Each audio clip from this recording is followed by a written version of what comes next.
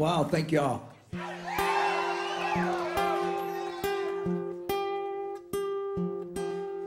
It's like uh, I used to watch this as a kid, so it's just so great to be here. The song's called Heathens.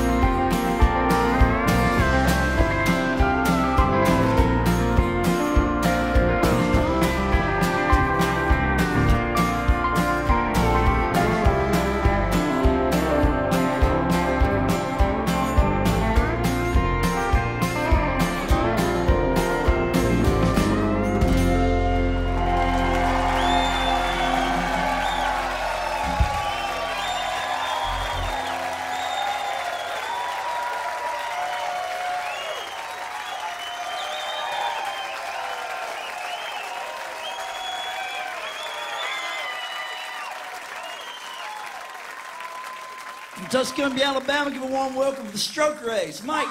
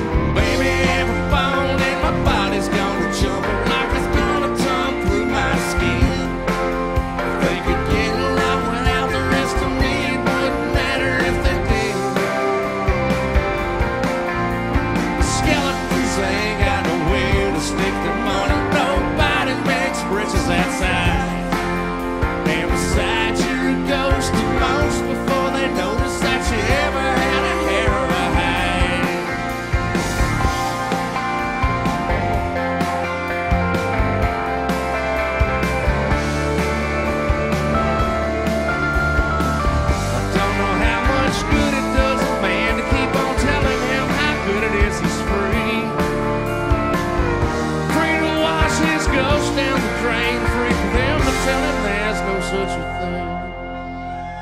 Baby, every bone in my body's gonna jump like they're gonna come through my skin. If they could get along without the rest of me, it wouldn't matter if they did.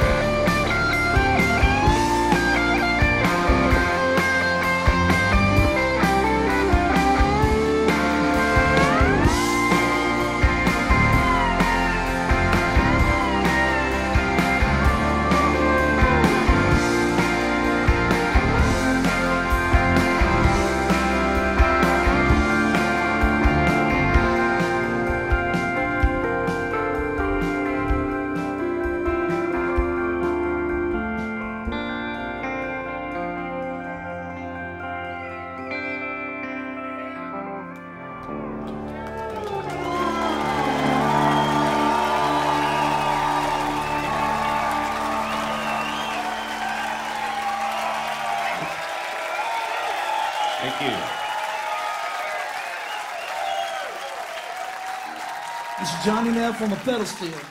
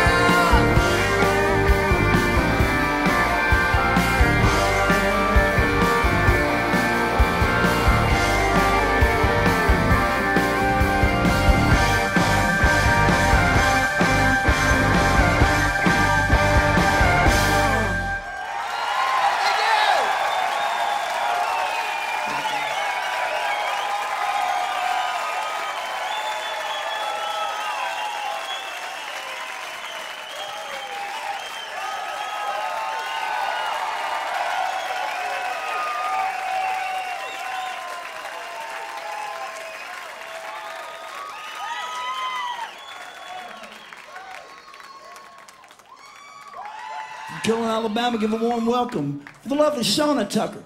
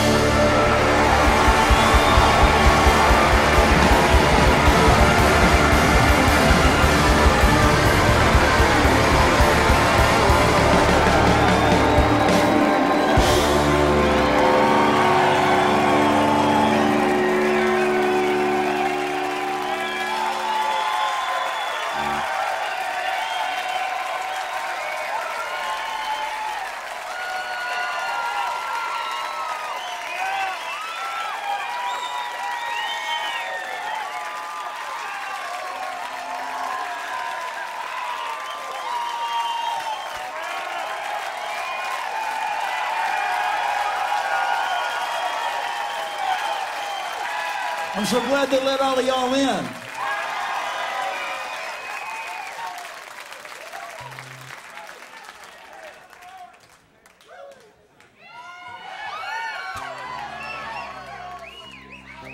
I've got to take a moment.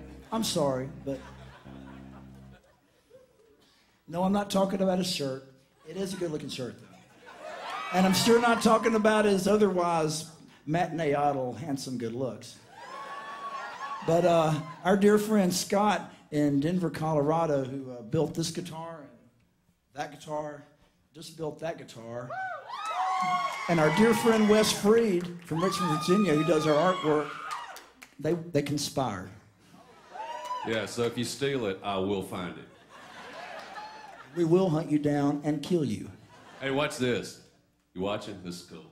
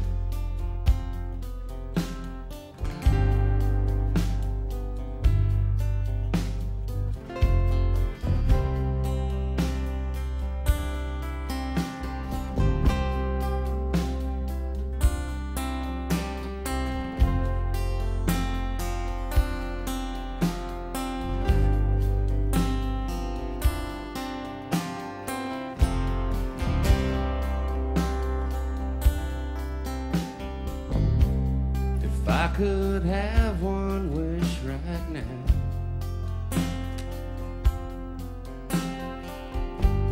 I'd be about as half as tough as I pretend I am.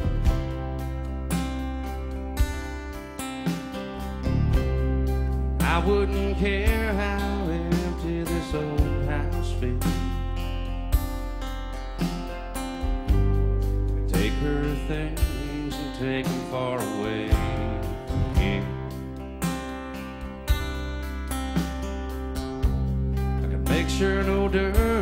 Got on her name.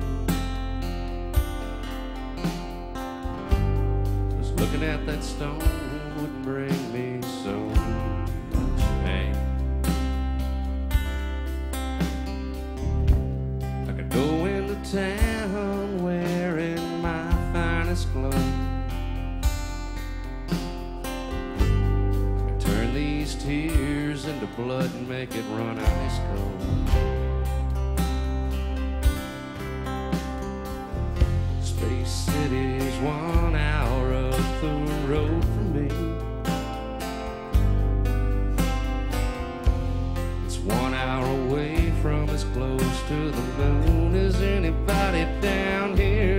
Be. And somewhere beyond that big white light is where my heart is gone. Somewhere she's wondering what's taking me so long.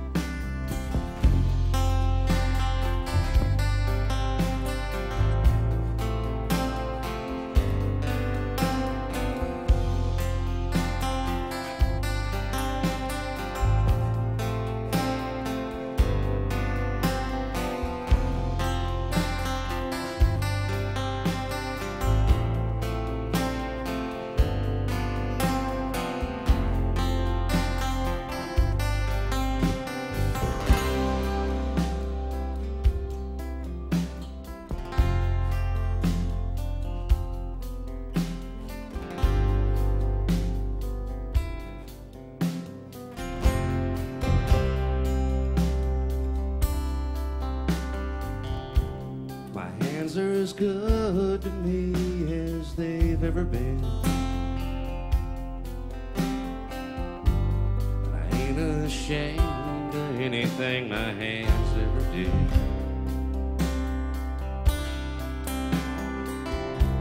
But sometimes the words I used were as hard as my fists.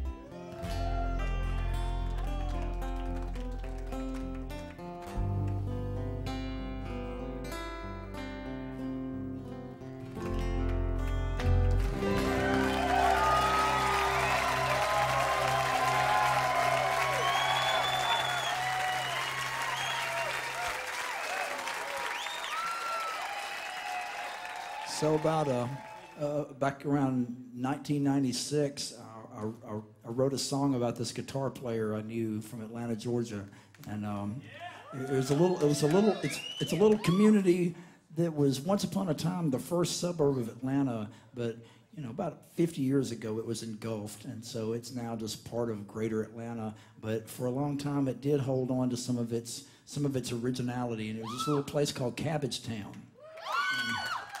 And uh, in the late 80s, early 90s, it became like the, the home base of this, this scene referred to as the Redneck Underground. And uh, the founder of the Redneck Underground was a guy named Deacon Lunchbox. And uh, one of the early founders of it was also a, a band called the Jody Grind. And unfortunately, half of the Jody Grind and Deacon Lunchbox were killed in a van accident and that was kind of the end of them. And this guy named Gregory Dean Smalley kind of took over the mantle and kind of ran with it. And he booked this place called the Star Bar, and it's kind of where our band got our start. And uh, and Greg was belligerent as hell. He was always cussing and smoking and drinking and doing all them things that. And, and, but he was he, he, he took the defiance with it all just to the next next extreme. But uh, unfortunately, he got really sick and he died. But uh, the last year Greg was alive, he played over 100 shows because he was such a badass. And he decided that if he was going to die, he was going to go out doing what he loved best. And if it didn't make him live longer, maybe it at least make him live. And I just started working sound at this club called the Hi Hat Music Club in Athens, Georgia. And uh, I had the honor and the privilege of doing sound for eight of those shows, and it was life changing. And you talk about a, a lesson in what's important out here. If you're wanting to be in a rock and roll band, watching those shows taught me everything I need to know. And whenever I think I'm starting to forget, I pull this song out. Not that I'm forgetting today, because today's one of the really good days. But at any rate, Greg didn't never get to play any gigs like this, but I, I, I sure wish he could have because y'all would have loved him. But this one's for him. It's called The Living Bubba.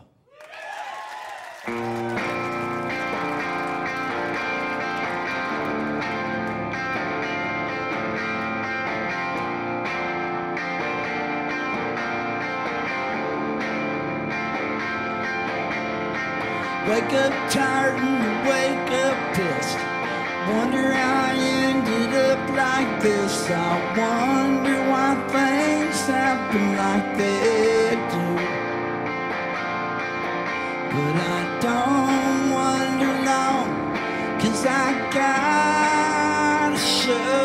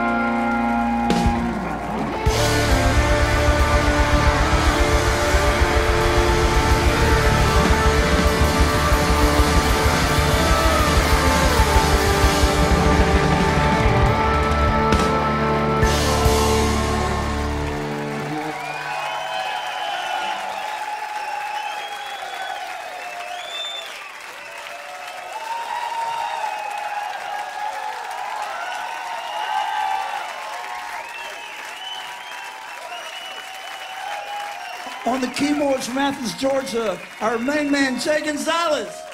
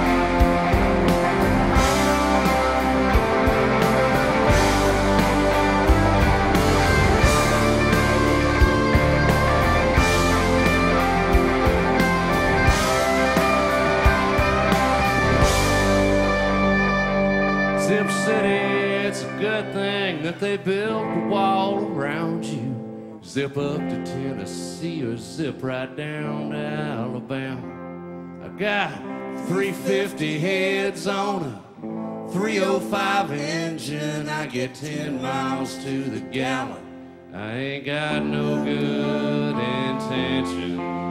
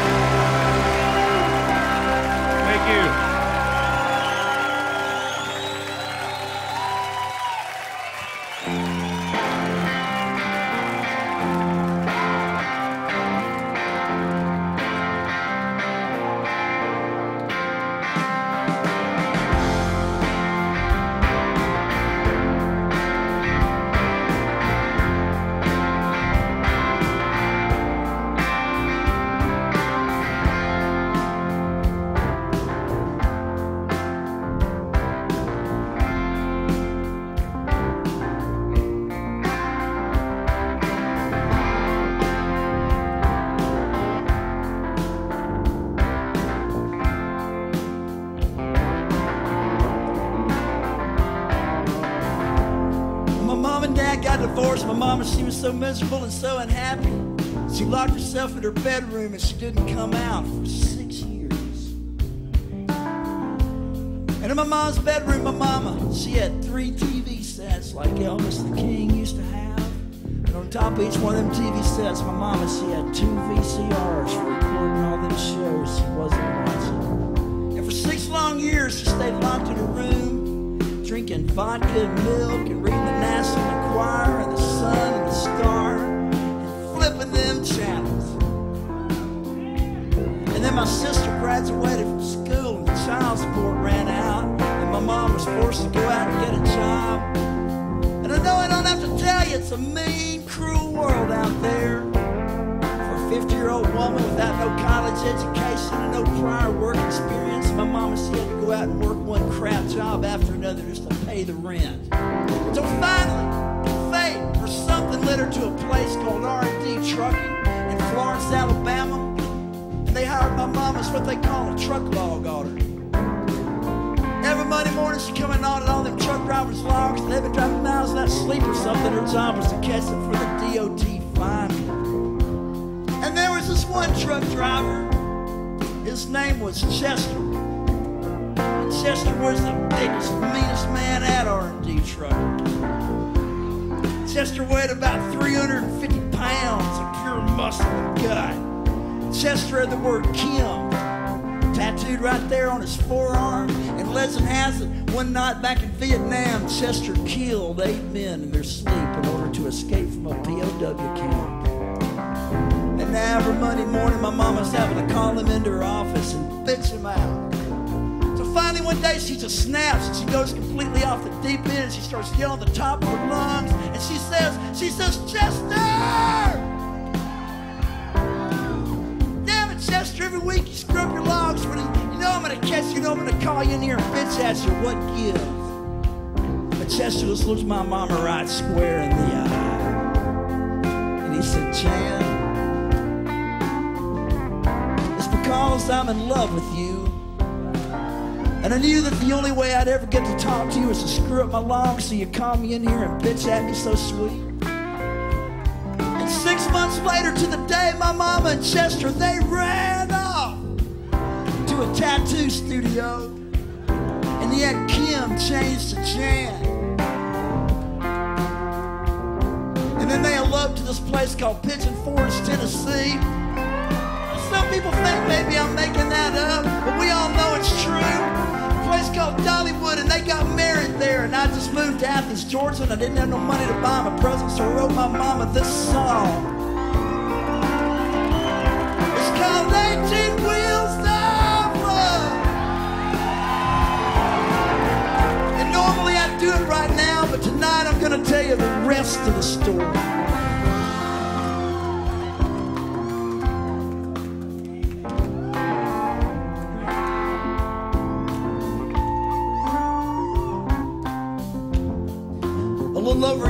Ago, we did this tour. We called it The Dirt Underneath. We went out and we played sitting down and we played acoustic guitars. We had a wonderful time and we went cross country and we were on our way home at the end of the third week. And, and we stopped for the night outside of St. Louis, Missouri. at this giant, giant casino complex so that our bus driver could get some sleep and we could all indulge ourselves in some bad buffet. Was walking back to the bus across the acres and acres and acres of parking lot with heartburn from the bad buffet, and my cell phone rang, and it was my sister calling. And she said, Patterson, it's Chester, and he's dying. It seems Chester got diagnosed as having the third and final stage of congestive heart failure. And they called the family in to say their last goodbyes. And his daughter was supposed to get married out in California, and he was supposed to give her away. And instead, she had to fly in with the grandkids to say goodbye. And they all gathered around the hospital bed that they set up in the middle of the living room. And everybody was crying and so upset. And everybody said their last goodbyes. And they brought in the hospice nurse to take care of him because mom wasn't able to do it all herself because he had gotten down to 125 pounds. And the skin was hanging off of his body like paper mache. And one day my mama was out buying groceries and he was alone there in that hospital bed in the living room, just he and the hospice nurse. And he gathered up all his strength and he pushed himself up off the bed and he looked that hospice nurse right square in the eye.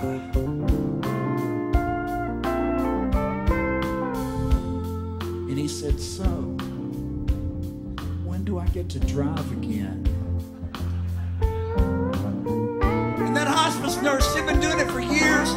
Calluses built up. But nonetheless, when, when he asked her that, tears welled up in her eyes and started rolling down her face. And she said, she said, honey, don't you know who I am? I'm the hospice nurse. I'm who they call to bring in here to take care of you. And I mean, miracles can happen. But under the best of circumstances, you're not going to drive again. And we're going to flash forward to March of this year. And I was packing my suitcase to go out on the road with my band. We had a new record out. We were ready to go out and play a bunch of dates. And my cell phone rang, and it was my mama calling. And my mama and this little bitty dog they've got named Paris for some damn reason. We're on their way out to Stockton, California in an 18 wheel truck with Chester behind the wheel to go out and see the grandkids.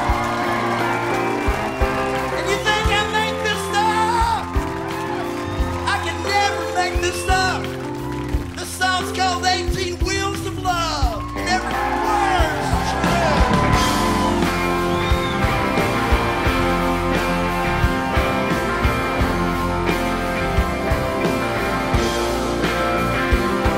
Mom ran off with a trucker. Mom ran off with a trucker. Mom ran off with a trucker. Paid her bill,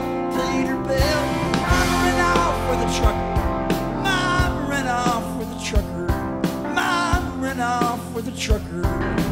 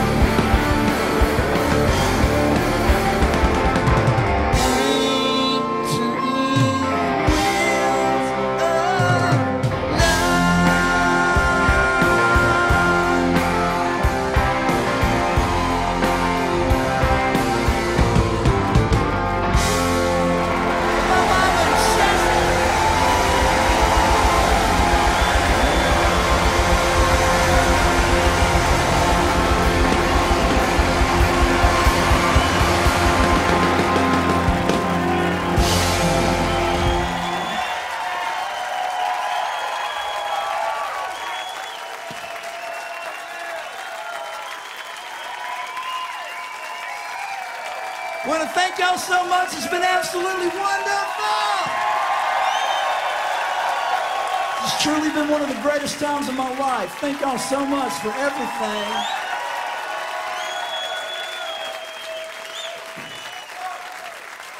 I had a different ending in mind, but we're almost out of time, so we're going to wrap things up with a little bit of conk rock. What do y'all think about that? Is that okay?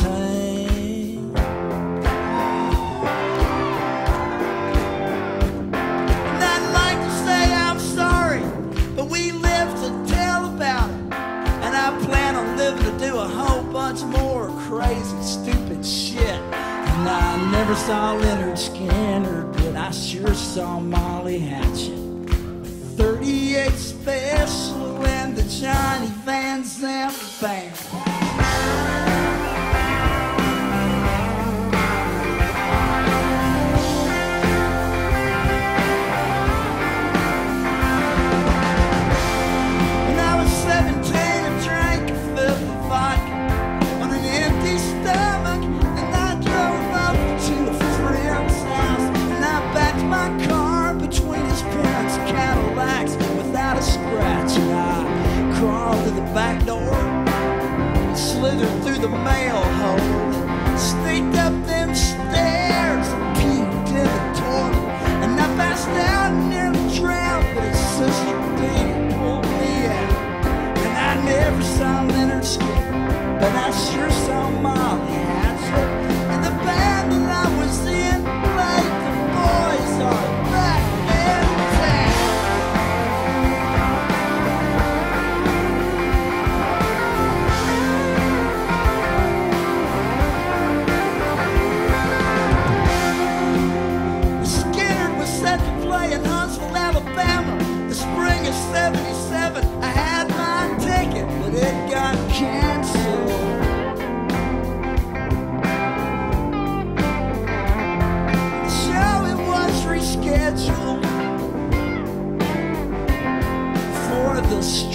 survivor's tour.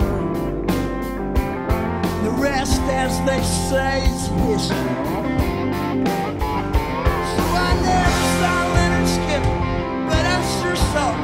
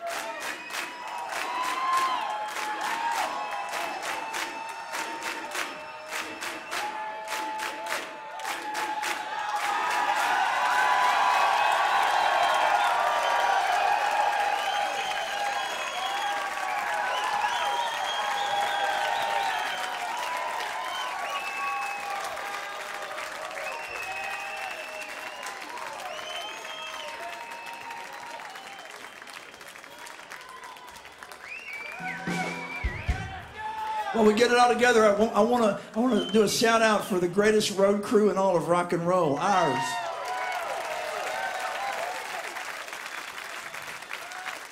Damon and Justin and Spet, Craig, and the almighty Matador. They, uh, they, we couldn't survive out here if it wasn't for them. So uh, we'll give it up for them one more time for the greatest road crew in all of rock and roll.